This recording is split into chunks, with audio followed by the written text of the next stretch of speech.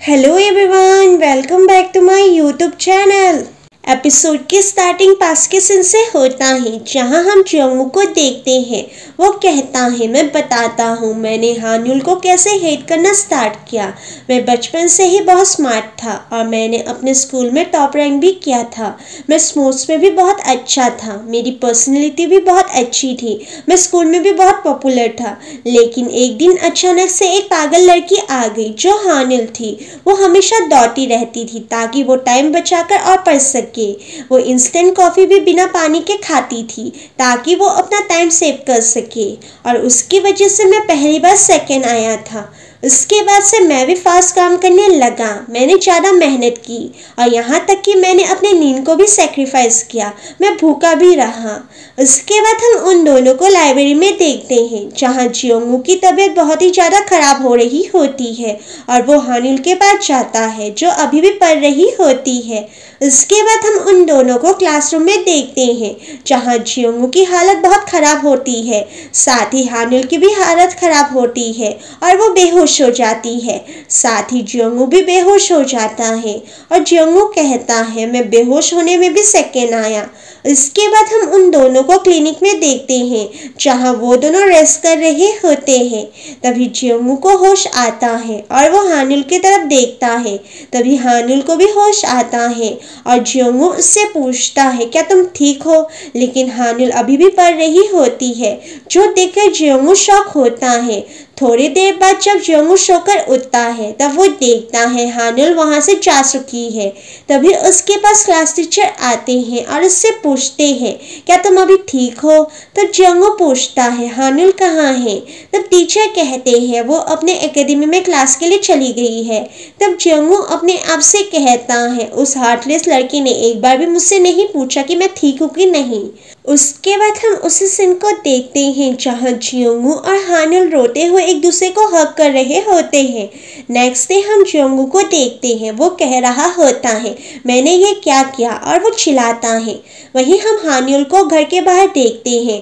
वो जियोंगू को आते हुए देखकर वो गाड़ी के पीछे छुपती है, लेकिन तभी गाड़ी वहाँ से चला जाता है, जिससे वो दोनों एक दूसरे के सामने आते हैं। तब जियोंगू कहता है, काफ़ी दिन के बाद तुमसे मुलाकात हुई। तब हानिल कहती है, कल ही तो हमने एक साथ ड्रिंक किया था और हमारी कोई गलती नहीं थी। हम दोनों ने ज़्यादा ही ड्रिंक कर लिया था, जिससे हम बहुत नशे में हो गए थे और कंट्रोल में नहीं थे। तब जेंगू कहता है, सही कह रही हो। तब हानिल कहती है, अब से हम एक दूसरे से दूर रहेंगे और साथ में तो ड्रिंक बिल्कुल नहीं करेंगे। और दोनों एक दूसरे को प्रॉमिस करके अपने अपने काम पर चले जाते हैं। उसके बाद हानिल घर जाती है। जहाँ हानिल की मम उससे पूछती है, तुम कहाँ गई थी? तब हानिल कहती है, बाहर हवा लेने। यहाँ दोनों एक दूसरे से ऑकवर्ड वे में बात कर रहे थे। तभी वहाँ बाधा आता है और वो हानिल से कहता है, मैंने सुना है कि तुम्हें डिप्रेशन है और मैंने ये भी सुना है कि तुमने अपने प्रोफेसर को मारा और जॉब भी छोड़ दी। साथ ही मॉम के साथ भी झगड़ा किया और देखो मैं भी जॉबलेस हूँ लेकिन मैं स्ट्रेस फ्री हूँ। इसलिए तुम भी रेस्ट करो। तब मॉम को गुस्सा आता है और वो बादा को मारने लगती है। उसके बाद हानिल अपने रूम में जाती है और वो कहती है, कहीं भी शांति नहीं है। तभी मॉम उसके पास डिप्रेशन का मेडिसिन लेकर आती है और उससे कल के लिए माफ़ी मांगती है।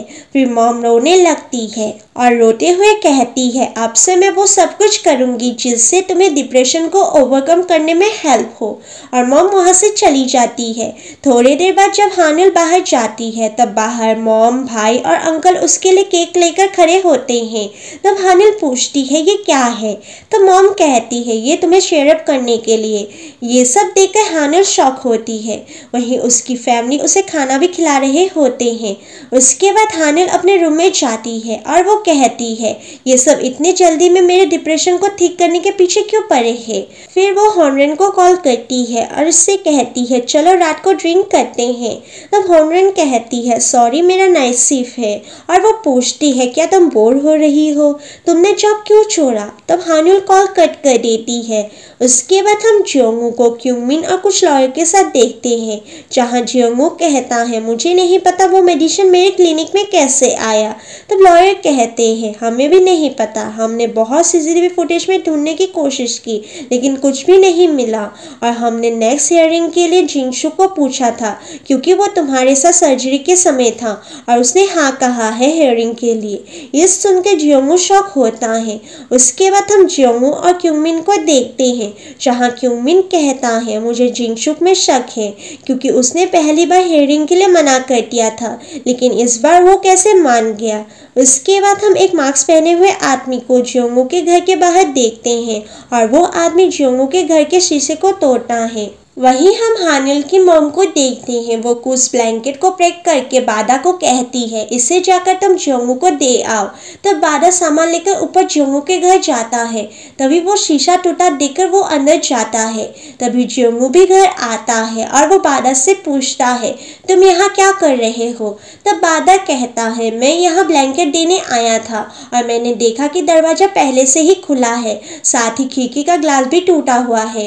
ये देखकर जोंगू शौक होता है। उसके बाद जोंगो पुलिस को बुलाता है। तो पुलिस चेक करके कहते हैं, हम जल्दी से कल्पित को ढूँढने की कोशिश करेंगे। और पुलिस वहाँ से चले जाते हैं। तब हानुल की मम जोंगो से कहती है, तुम आज हमारे घर में आ जाओ सोने। तब जोंगो उसके लिए मना करता है और उन्हें घर भेज देता है। उसके बाद जोंगो ग्लासेस को उठा रहा था। तभी उसके हाथ में कट आ जाता है। वहीं वहाँ हानिल भी आती है और वो कहती है, मैंने सुना कि तुम्हारे यहाँ शोर आया था और तुमने हमारे घर में सोने के लिए मना क्यों किया? तब ज्योंगो कहता है, मैं अपने दोस्त के घर जाने वाला हूँ। तब हानिल कहती है, क्या तुम क्यूमिन की बात कर रहे हो? उसकी एमरजेंसी सर्जरी है। तब ज्योंगो कहता है, तुम्हें कैसे पता चला? तब हानिल कहती है, क्योंकि मैंने उसे कॉल किया था, इसलिए तुम अभी हमारे घर चलो। वहीं ज्योंगो मना ही कर रहा होता है, तब हानिल कहती है, मेरे लिए भी ऑकवर्ड है कल के सिचुएशन के बाद, लेकिन मैं अपने क्लासमेट को ऐसे ही यहाँ नहीं सोने दे सकती हूँ, इसलिए सब कुछ भूल के मेरे घर चलो। तब जोंगू ओके कहता है। उसके बाद हम जंगू को हानुल के फैमिली के साथ देखते हैं, जहाँ वो सभी डिनर कर रहे होते हैं। तब हानुल की मम कहती है, मुझे नहीं पता था कि तुम दोनों क्लासमेट थे। तब बादा कहता है, इसलिए मुझे तुम जाने पहचाने लग रहे थे, क्योंकि मैंने तुम्हारी फ़ोटो हानिल की बुक में देखी थी। वैसे मेरी बहन स्कूल में कैसे थी? तब हानिल कहती है, हम दोनों एक दूसरे के क्लोज नहीं थे। तब ज्योंगू भी कहता है, मैंने कब कहा कि हम दोनों क्लोज थे? तभी हानिल की मॉम ज्योंगू के पास से खाना हटाने लगती है। झूठ देकर ज्योंगू कहता है, मेरे पास कोई अपॉर्चुनिटी ही नहीं थी इसके क्लोज जाने का। वो सिर्फ़ दस मिनट के लिए ब्रेक लेती थी। बाकी के समय वो किसी से बात नहीं करती थी। और मैंने जब उसे तब्बू के खाने के लिए पूछा था, तब उसने झूठ कहा था कि उसे एलर्जी है। तब हानिल पूछती है, तुम्हें कैसे पता चला कि मैंने झूठ कहा था? तब ज्योंगू कहता है, तब्बू किसे किसी को एलर्जी नहीं होता है। तब हानिल कहती है, मैंने झूठ इसलिए कहा था क्योंकि मुझे पढ़ना था। ये सब सुन के हानिल की मम रोने लगती है। इसके बाद हम देखते हैं, जहाँ हानिल जोंगू को सोने के लिए ब्लैंकेट दे रही होती है, तब जोंगू पूछता है, क्या हम आइसक्रीम खाने चले? तब हानिल मना करके बाहर जाती है। तभी वो देखती है, उसकी मॉम मेडिसिन लेकर उसके पास जा रही है, जिससे वो फिर से जोंगू के रूम में जाती है और वो जोंगू से कहती है, चलो हम आइसक्रीम खाने चलते हैं। उसके बाद हम हॉर्नरन को देखते हैं। वो यूट्यूब में वीडियो देख रही होती है। तभी उससे देयोंग का वीडियो देखता है और वो गलती से उसके चैनल को सब्सक्राइब कर देती है। वही हम देयोंग को देखते हैं। वो एक सब्सक्राइबर को बढ़ते हुए देखकर खुश होकर चिल्लाता है और डेयोंग चेक करता है और कहता है, कोई हॉर्नरन नाम की लड़की ने मुझे सब्सक्राइब किया है। उसके बाद देयोंग जाने लगता है। तभी हॉर्नरन भी उसे क्रॉस करके जाती है। उसके बाद हम हानिल और जोंगू को देखते हैं। वो दोनों आइसक्रीम खा रहे होते हैं। तभी वहाँ से एक एंबुलेंस जाता है, जिसे देखकर हानिल सेट होती है। तब जोंगू पूछता है, क्या हुआ? तब हानिल कहती है, अभी किसी पेशेंट को हॉस्पिटल लेकर जाया जा रहा है और उसकी हॉस्पिटल में सर्जरी होगी। लेकिन मैं चॉपलेस हूँ। तब जोंगू कहता है, तुम बस एक दिन के लिए चॉपलेस हुई हो। तुम्हें अभी कुछ फन करना चाहिए। उसके बाद वो दोनों खाना खाने जाते हैं। फिर वो दोनों गेम स्टेशन जाते हैं और वहाँ बहुत गेम खेलते हैं और वो दोनों बहुत ही ज़्यादा इंजॉय करते हैं। और यहाँ साथ ही हम उन दोनों को हाई स्कूल के लुक में भी देखते हैं। उसके बाद वो दोनों चलते हुए घर जा रहे थे, जहाँ हानिल जेंगू से कहती है, मुझे आज बहुत मज़ा आया थैंक यू और वो कहती है, आज तक मैं कैसे इतनी फुल्ली साइड जी रही थी? मैं एक इडियट थी, मैंने अपना बेस्ट दिया था, लेकिन तब भी मैं फेल हुई। तब जोंगो कहता है, चलो हम ब्रेक लेते हैं। उसके बाद चोंगो अपने रूम जाता है और वो कहता है, हानुल, इतनी भी बुरी नहीं है जितना मैंने सोचा था। वो बहुत क्यूट भी है। फिर वो होश में आता है और कहता है, क्यूट?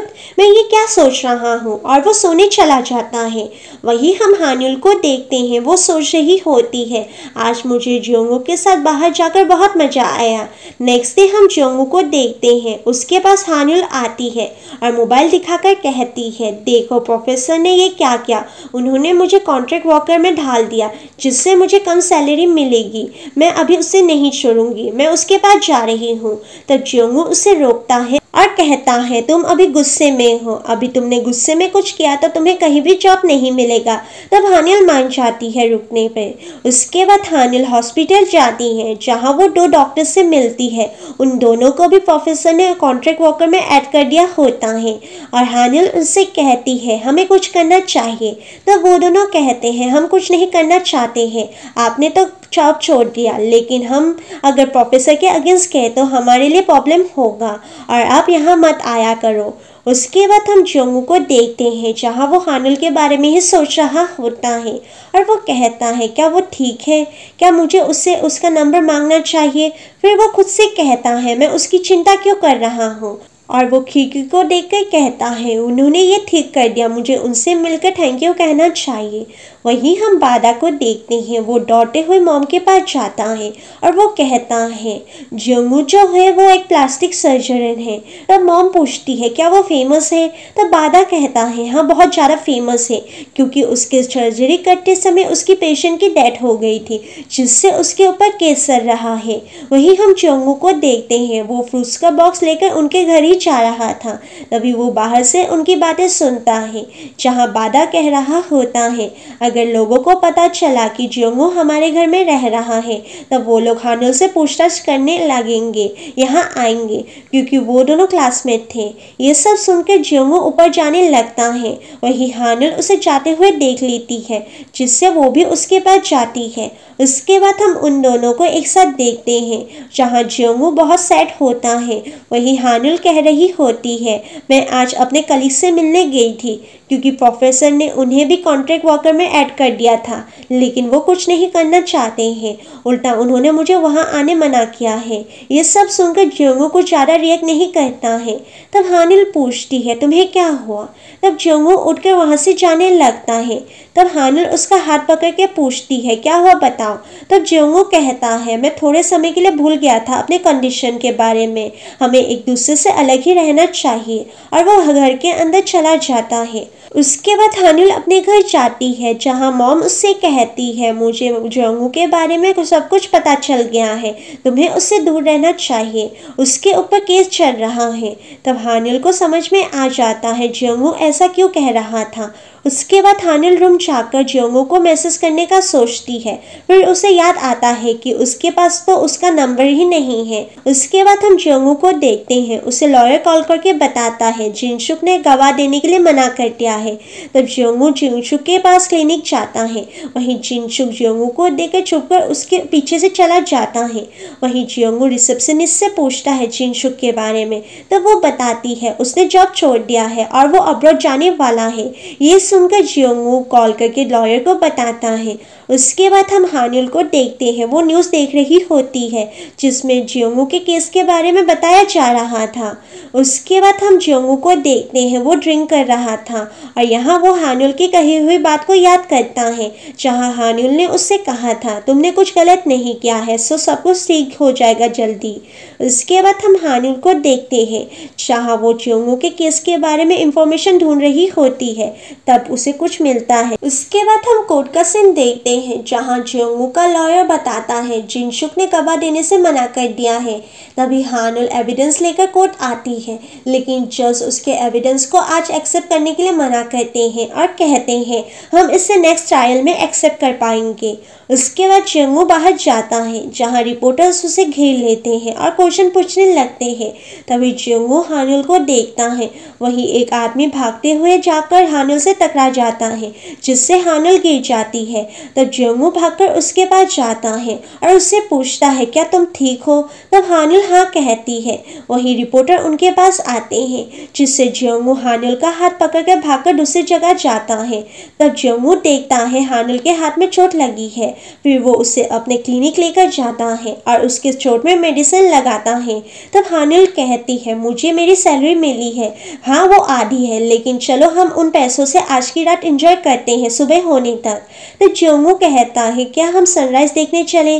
उसके बाद वो दोनों सनराइज देखने सी के पास जाते हैं, लेकिन सनराइज नहीं हो रहा होता है। तब जोंगू चेक करता है और कहता है, आज बारिश होने का चांस है। फिर जोंगू हानुल से उसका नंबर माँगता है और कहता है, मैं अभी सिर्फ़ तुम्हारा क्लासमेट बनकर नहीं रहना चाहता हूँ। मैं तुम्हारा दोस्त बनना चाहता हूँ। और वो हाथ आगे करके पूछता है, क्या तुम मेरी फ्रेंड बनोगी? तब तो हानुल हैंडशेक करके हाँ कहती है। उसके बाद हम जम्मू के बेड के नीचे एक पेन को देखते हैं, जिससे रिकॉर्डिंग हो रहा होता है। उसके बाद हम फिर से जंगू और हानिल को देखते हैं, जहाँ हानिल स्माइल करते हुए जंगू को देखकर कहती है, अभी मेरे पास भी कोई है जो मेरे डिफ़िकल्ट समय में मुझे मोटिवेट कर रहा है। उसके बाद हम पास का सीन देखते हैं, जहाँ वो दोनों मेडिकल रूम में थे, जहाँ हानिल नोट में लिख रही होती है ज्योंगू तुम्हें स्ट्रांग रहना होगा और मैं भी रहूँगी। फिर वो बाहर जाती है, तब वो टीचर और ज्योंगू की मॉम को देखती है, जहाँ मॉम कह रही होती है ज्योंगू बस पढ़ाई की वजह से बेहोश हुआ था। आपको मुझे इतनी छोटी सी बात के लिए यहाँ नहीं बुलाना चाहिए था। वहीं हानिल के पास उसकी मोम आती है और वो कहती है, क्या तुम ठीक हो? और यहाँ हानिल की मोम उसके लिए वॉरिड थी और इसी के साथ ही एपिसोड एंड होता है। और आगे क्या होता है जानने के लिए चैनल को सब्सक्राइब करके बेल आइकन को क्लिक कीजिए। मिलते हैं नेक्स्ट वीडियो में। Thanks for watching the video